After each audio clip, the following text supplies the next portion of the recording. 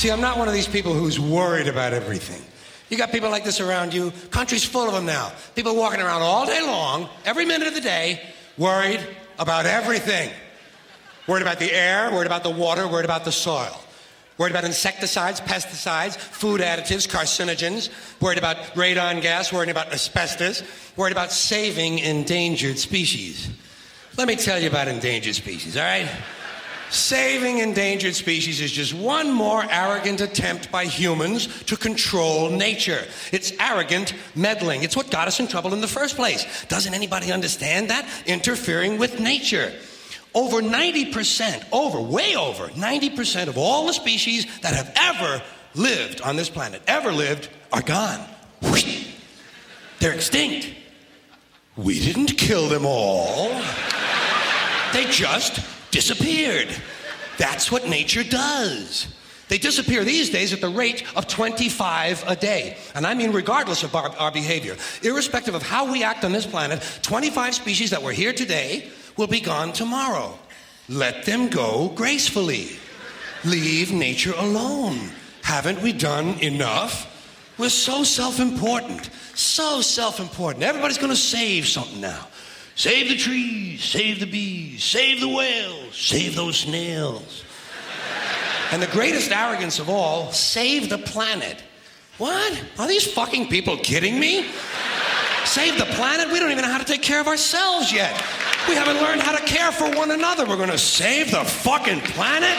I'm getting tired of that shit. Tired of that shit. Tired. I'm tired of fucking Earth Day. I'm tired of these self righteous environmentalists, these white bourgeois liberals who think the only thing wrong with this country is there aren't enough bicycle paths. People trying to make the world safe for their Volvos. Besides, Environmentalists don't give a shit about the planet. They don't care about the planet. Not in the abstract, they don't. Not in the abstract, they don't. You know what they're interested in? A clean place to live their own habitat. They're worried that someday in the future they might be personally inconvenienced. Narrow, unenlightened self interest doesn't impress me. Besides, there is nothing wrong with the planet. Nothing wrong with the planet. The planet is fine. The people are fucked. Difference. Difference. The planet is fine. Compared to the people, the planet is doing great. It's been here four and a half billion years. Do you ever think about the arithmetic? Planet has been here four and a half billion years. We've been here, what, 100,000? Maybe 200,000? And we've only been engaged in heavy industry for a little over 200 years. 200 years versus four and a half billion. And we have the conceit to think that somehow we're a threat that somehow we're going to put in jeopardy this beautiful little blue green ball that's just a floating around the sun. The planet has been through a lot worse than us, been through all kinds of things worse than us. Been through earthquakes, volcanoes, plate tectonics, continental drift, solar flares, sunspots, magnetic storms, the magnetic reversal of the poles, hundreds of thousands of years of bombardment by comets and asteroids and meteors, worldwide floods, tidal waves, worldwide fires, erosion, cosmic rays, recurring ice ages, and we think some plastic bags and some aluminum cans are going to make a difference? The planet the planet. The planet isn't going anywhere. We are. We're going away. Pack your shit, folks. We're going away. And we won't leave much of a trace either. Thank God for that. Maybe a little styrofoam. Maybe. Little styrofoam. Planet will be here and we'll be long gone. Just another failed mutation. Just another closed end biological mistake. An evolutionary cul de sac. The planet will shake us off like a bad case of fleas. A surface nuisance. You want to know how the planet's doing? Ask those people at Pompeii who are frozen into position from volcanic ash how the planet's doing. To if the planet's all right? Ask those people in Mexico City or Armenia or a hundred other places buried under thousands of tons of earthquake rubble if they feel like a threat to the planet this week. How about those people in Kilauea, Hawaii, who build their homes right next to an active volcano and then wonder why they have lava in the living room?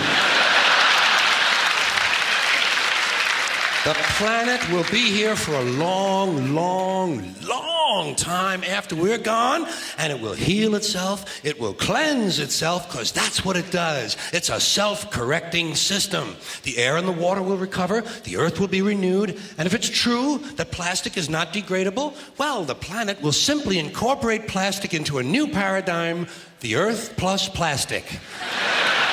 the earth doesn't share our prejudice towards plastic. Plastic came out of the earth. The earth probably sees plastic as just another one of its children. Could be the only reason the earth allowed us to be spawned from it in the first place. It wanted plastic for itself. Didn't know how to make it, needed us. Could be the answer to our age old philosophical question why are we here? Plastic. Assholes.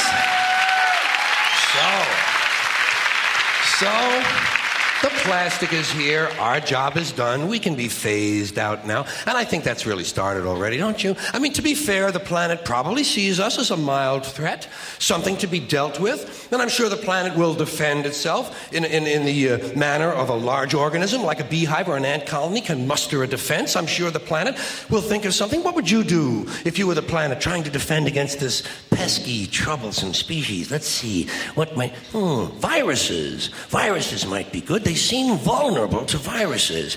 And uh, viruses are tricky, always mutating and forming new strains whenever a vaccine is developed. Perhaps this first virus could be one that, that compromises the immune system of these creatures. Perhaps a human immunodeficiency virus, making them vulnerable to all sorts of other diseases and infections that might come along.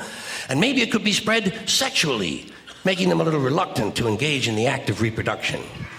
Well, that's a poetic note. And it's a start. And I can dream, can I? See, I don't worry about the little things bees, trees, whales, snails. I think we're part of a greater wisdom than we will ever understand. A higher order. Call it what you want. know what I call it? The big electron.